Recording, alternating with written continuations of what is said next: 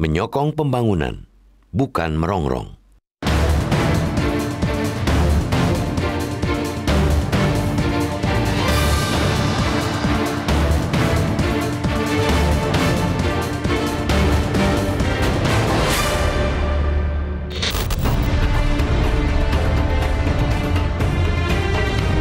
Penegakan hukum dilakukan untuk menyokong pembangunan nasional, bukan malah sebaliknya, justru merongrong. Penegak hukum mestinya mendukung program-program strategis pemerintah dengan memberikan pengawasan dan pendampingan bagi eksekutif sebagai pelaksana pembangunan agar tidak sampai melanggar hukum. Namun yang terjadi di negeri ini justru sebaliknya.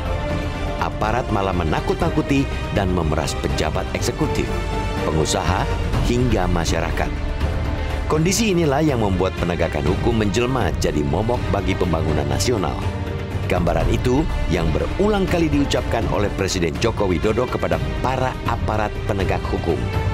Tidak hanya dalam acara Aksi Nasional Pencegahan Korupsi, Rabu 26 Agustus lalu, Presiden juga telah memperingatkan penegak hukum perihal serupa tahun lalu dalam Forum Koordinasi Pimpinan Daerah atau Forkopimda. Pernyataan Jokowi yang berulang kali itu menunjukkan bahwa persoalan praktik-praktik tidak terpuji oleh penegak hukum merupakan isu yang harus disikapi secara serius. Hal itu juga kemudian ultimatum bagi pimpinan lembaga penegak hukum untuk serius membenahi institusinya. Memang Presiden mengakui regulasi nasional yang masih tumpang tindih sehingga tidak memberikan kepastian hukum. Namun, hal itu tidak lantas menjadi kebenaran bagi penegak hukum korup untuk menakut-nakuti bahkan memeras pejabat pemerintah, dunia usaha, dan masyarakat. Bayangkan jika pejabat pemerintah takut melakukan inovasi karena jeratan ancaman hukum, agenda pembangunan nasional terhambat. Pembangunan nasional yang semestinya bergerak cepat menjadi lamban, bahkan tidak bergerak karena banyak pemangku kepentingan yang ketakutan dalam mengeksekusi kebijakan. Bahkan, dalam masa upaya pemulihan ekonomi nasional akibat COVID-19, saat pejabat takut mengeksekusi anggaran, jelas akan membahayakan perekonomian nasional.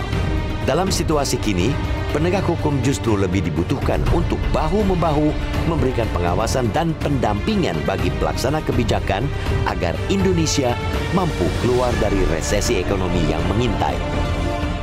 Namun, bukan berarti upaya penegakan hukum dikesampingkan selama masa pandemi COVID-19 aparat tetap harus garang terhadap siapa pun, termasuk pejabat, pengusaha, dan masyarakat yang memiliki niat buruk untuk menyelewengkan agenda pemulihan ekonomi nasional.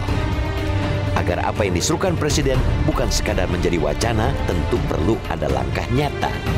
Peringatan disertai tindakan konkret akan menjadi pelajaran berharga bagi setiap lembaga penegak hukum untuk tidak mengulang kesalahan yang sama hanya penegakan hukum bagi yang salah dan bukan mencari-cari salah akan membuat terciptanya kepastian hukum.